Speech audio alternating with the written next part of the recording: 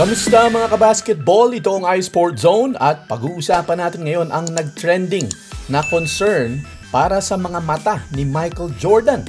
Ano nga bang meron sa kanyang kalusugan at naninilaw ang kanyang mata? Napansin ito ng mga netizens. Sa mga nanonood ng The Last Dance documentary, by the way mga kabasketball, last week na nga pala nito, bukas. So tapos na ang The Last Dance. So sa mga hindi pa nakakapanood ay pwede pa kayong humabol. May mga links dyan, I'm sure, hanapin nyo lang. Ayun nga mga kabasketball, doon sa mga nanonood ay maraming nakapansin na ang mga mata ni Michael Jordan ay naninilaw. Siyempre, obviously, ang tinutukoy dyan mga kabasketball ay yung puti ng mata.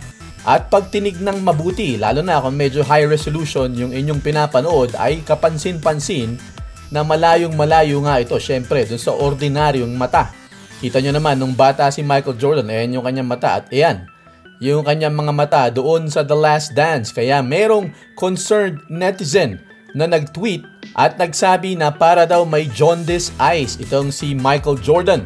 Mga kabasketball, yung sinasabing jaundice eyes ay common sa mga taong mayroong problema sa atay, gaya ng hepatitis o kaya meron kang gallstones o cirrhosis at pwede rin cancer. Itong jaundice eyes o paninilaw ng mga mata ay common sa mga taong naninigarilyo at umiinom. At yung dalawa na yan ay characteristic ngayon nitong si Michael Jordan. Nung kapanahonang naglalaro siya, hindi kilala si Michael Jordan na umiinom at naninigarilyo. Nito na lang nung siya'y retirado na. Hindi sinasagot ni Michael Jordan ang mga obserbasyon na ito pero according sa isang doktor, ang paninilaw daw ng mata ay hindi dapat binabaliwala dahil maaring ito ay simptomas ng iba pang bagay na nagaganap sa loob ng katawan. Kapag pinabayaan daw ito at hindi ipinatingin sa doktor at hindi na aksyonan agad, ay maaring ikabulag ng isang tao o kaya naman ay maapektuhan ang kanyang paningin.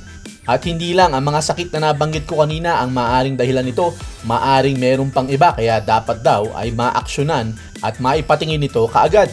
Pero dahil nga wala namang sinasabi si Michael Jordan at hindi naman siya umaamin kung may nagaganap nga sa kanyang katawan o may nararamdaman siya, ay talagang maghihintay lamang ang buong mundo sa kasagutan. At isa pang issue mga kabasketball, kung mapapansin nyo, kung kayong nanonood ng The Last Dance, makikita nyo na mayroon lagi na nakalagay sa bandang kanan sa isang maliit na lamesa na isang maliit na baso na may lamang alak. Obvious na alak naman yun at hindi soft drinks. Nung nanonood nga ako mga kabasketball, iniisip ko baka naman display lang yun. At hindi naman talagang iniinom ni Michael Jordan. Pero kapag pinanood mo at pinansin at marami ring nakapuna ng mga netizens na nag-iiba-iba yung level nung alak na nakalagay doon sa baso. Ibig sabihin, nababawasan tapos nadadagdagan uli o kaya naman ay baka iba-ibang bahagi ng uh, interview yung napapagbali-baliktad during editing.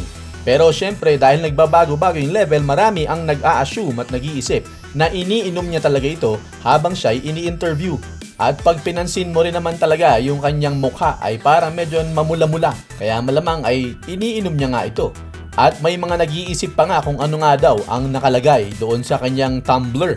Ayon sa mga experts, mga kabasketball, ay maari daw na pinopromote ni Michael Jordan ang kanyang sariling inumin na kanyang pag-aari dahil kilala si Michael Jordan na isang marketing at business guy na talaga namang mahusay mag-promote ng kanyang mga businesses, maaari daw ang nakalagay doon ay yung sarili niyang brand na Añejo. Ito raw ay tinatawag na Cincoro Extra Añejo. Ito ay isang tequila brand na pagmamayari ni Michael Jordan kasosyo niya ang mga team owners ng Los Angeles Lakers, Boston Celtics at Milwaukee Bucks. At ito mga kabasketball, ang halaga daw nitong tequila brand na ito na Cincoro Extra Añejo na pagmamayari nga kasosyo si Michael Jordan ay umaabot daw ng $1,800 kada isang bote. Ang $1,800 mga kabasketball ay nasa around 90,000 pesos. 90 mil.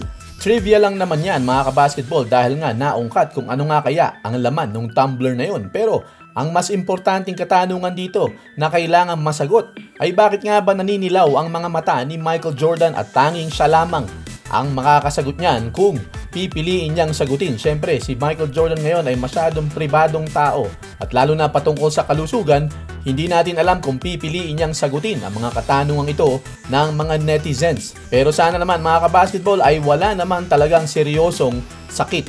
Itong si The GOAT, Michael Jordan. Hintayin na lang natin ang mga susunod na mga kabanata at anunsyo kung sakasakali. At bukas sa episodes 9 and 10, baka naman nagbago na yung kanyang mataron. Abangan natin yan. Tignan natin mga kabasketball. Mag-iwan ng comment, like and share this video. Don't forget to subscribe on YouTube and follow me on Facebook. This is iSport Zone.